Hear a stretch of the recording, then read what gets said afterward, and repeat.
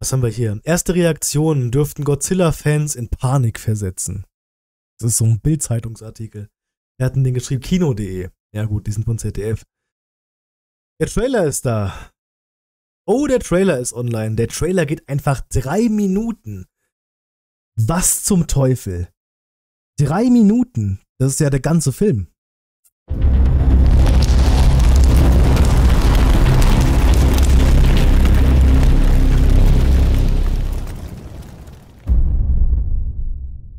Also, schreibt mir eure Gedanken dazu. Ich bin jetzt abgemeldet. Ich starre jetzt nur auf den Bildschirm und gebe mir diesen Trailer jetzt rein.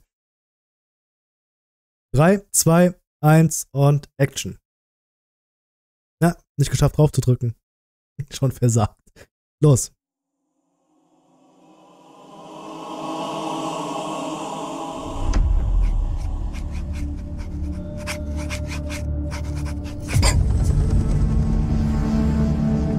Während der Geschichte der Menschheit Oh, Ägypten. glaubten Krass. wir immer, das Leben existiere nur auf der Oberfläche unseres Planeten.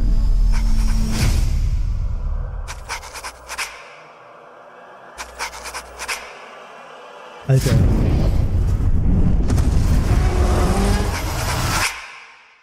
Worin haben wir uns noch geirrt?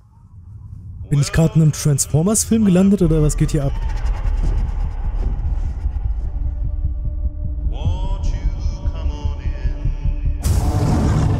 Boah, Alter, okay, es geht also krass viel in die. Als wir uns überhaupt vorstellen können.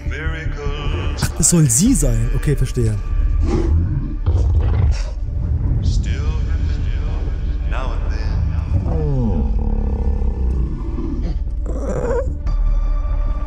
Das ist er auf jeden Fall nicht gewesen.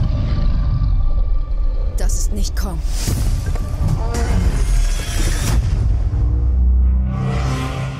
Also es geht in die Hohlerde zurück.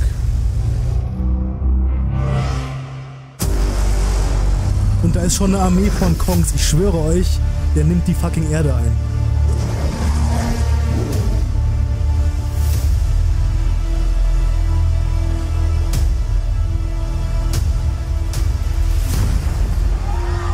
Allein kann das nicht aufhalten. Er ist nicht allein. Ha? Okay, Godzilla wird also nicht eingefroren und rausgenommen. Godzilla verschanzt sich scheinbar.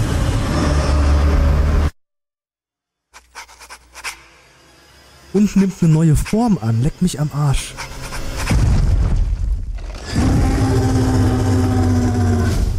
Okay, der ist groß. Der ist sehr groß.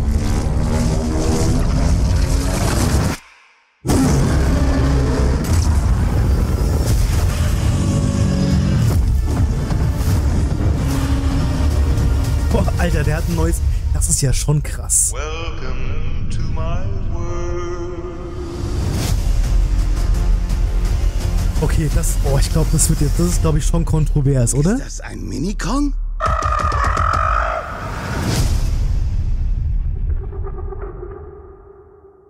Ich glaube, der, der Trailer war doch kontrovers.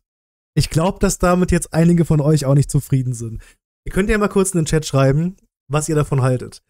Ich find's gar nicht verkehrt, was da gezeigt wurde. Ich bin von Godzilla so ein bisschen überrascht. Also haben die jetzt wirklich Godzilla den gesamten Film über ein komplett neues Design verpasst?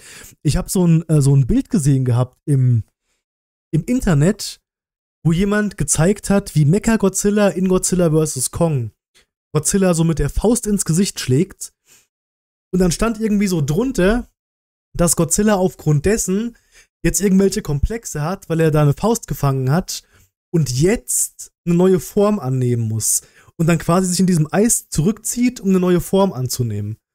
Was eine dumme Theorie. Und jetzt stimmt die wirklich, oder was? Das ist jetzt, das ist ja schon, Moment, wir müssen da nochmal reingucken. Ich will den ganz kurz nochmal sehen. Dieser eine Shot, der hat schon was gehabt. Das ist ein Comic, wir wollen neue Actionfiguren verkaufen. Shot, das ist der hier. Aber scheiß doch drauf. Es sieht doch echt geil aus. Es, das sieht doch schon geil aus, Mann. Also, Das ist das Design von Godzilla Millennium, oder? Haben die das jetzt damit kopiert, das Millennium Godzilla Design? Ja, ne? Krass, okay, okay. Godzilla ist um einiges mobiler und schlanker und schlaksig. Echt, findest du? Ich finde halt die Arme ein bisschen blöd. Das sieht ein bisschen komisch aus, gerade in dem Bild. Aber an sich. Jetzt wirklich direkt so einen krassen Bruch reinzumachen. Okay, gut, wir haben jetzt aber auch Godzilla in der Variante, wie wir ihn kannten, hatten wir jetzt ja schon gehabt, drei Filme lang. Plus noch die Serie Monarch. Wird mal Zeit für ein neues Design. Aber auch Kongs Arm. Ähm, das wird jetzt so bleiben, glaube ich. Ich glaube, dass das jetzt, das sind die neuen beiden Varianten. Und mir gefällt es, dass die das anders, dass die jetzt so aussehen, finde ich geil. Ich glaube nach wie vor, dass dieser, dass dieser Film mich nicht besser stimmen wird als Godzilla Minus One, weil das eben sehr 0815, na, vielleicht auch nicht, aber das wird schon sehr mainstreamig werden hier, was aber okay ist. Ähm, wir gucken den Trailer jetzt gleich nochmal und dann quatschen wir über die einzelnen Szenen. Mir ist da so ein bisschen was aufgefallen. Hm. Aber ich fand, dass hier ähm, Scar King bescheuert aussieht. Der sah nicht so geil aus. Ist halt krass, wenn du zuerst die beiden so siehst und dann haben wir Scar King gesehen, der so aussieht. Wo ist er denn? Da.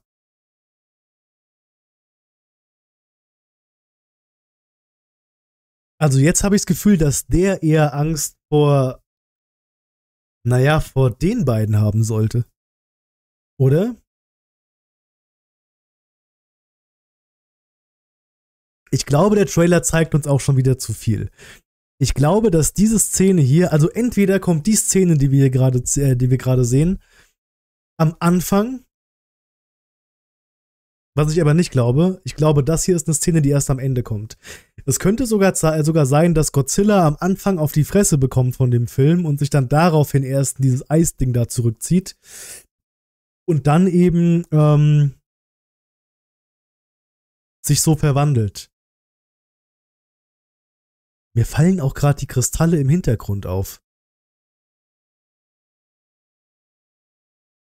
Ey, ich will da jetzt nicht zu viel reininterpretieren, aber ey, wir hatten auch einen, einen, einen Überraschungsauftritt von, von Mecha-Godzilla hatten wir gehabt. Der eigentlich geheim gehalten werden sollte. Haben wir hier jetzt Space Godzilla? Verarscht der Trailer uns vielleicht? Und wir sehen hier gar nicht. Das ist Godzilla, auf jeden Fall, ja. Oder ist das Space Godzilla? Ich habe gerade echt keine Ahnung mehr. Oder sie gehen in dem Film die Richtung und, und sagen einfach, dass Godzilla, also unser Godzilla, der wird zu Space Godzilla im Monsterverse.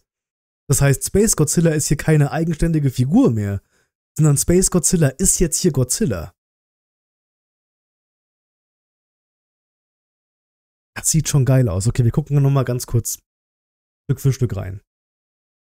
Jetzt macht es aber auch Sinn, warum die das hier gewählt haben, ne? Diese Farbgebung andauernd. Jetzt macht die total Sinn.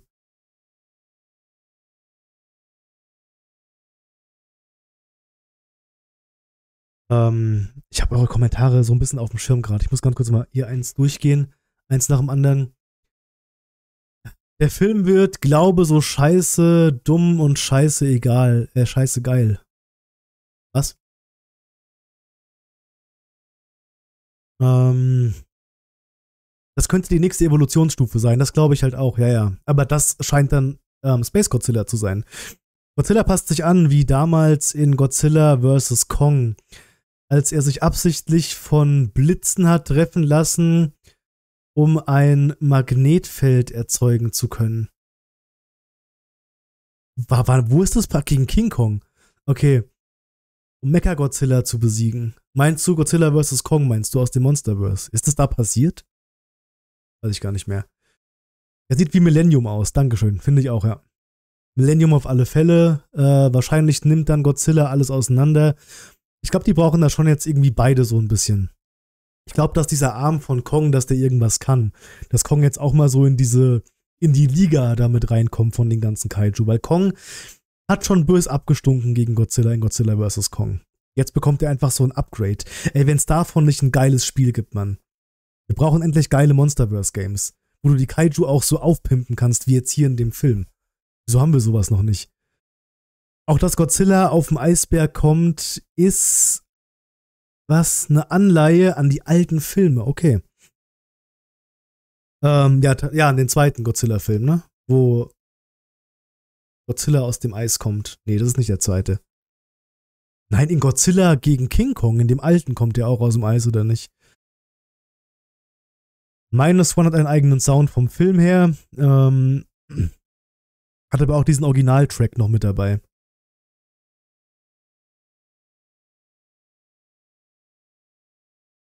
Ich weiß nicht ganz wegen Godzilla, weil auf einmal Pink, er war ja immer blau, außer im Burning-Modus. Ich finde, das Pink sieht mega mächtig aus. Ich finde generell die Farbe Pink, ähm, die kannst du richtig cool einsetzen. Finde ich. Wenn du die so kombinierst mit so dunklen Farben, ist das schon echt sau cool. Vielleicht war das gar nicht Scar King, doch, doch, doch, doch, doch. Das war Scar King.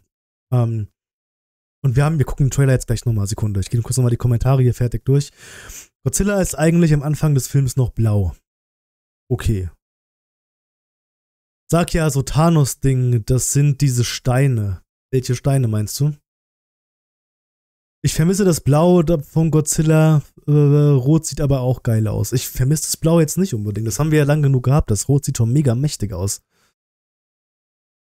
Ähm, Godzilla hat sich, glaube ich, einfach besser angepasst. Dass seine Feinde immer stärker werden, ja, tatsächlich, ja. Godzilla hat Mecha Godzilla nicht besiegt, sondern Kong. Ich habe, glaube ich, nichts anderes gesagt. Aber auch Kong hat ihn nicht alleine besiegt, stimmt eigentlich auch nicht. Und Kong hat den finalen Schlag gemacht. Besiegt haben sie ihn zusammen.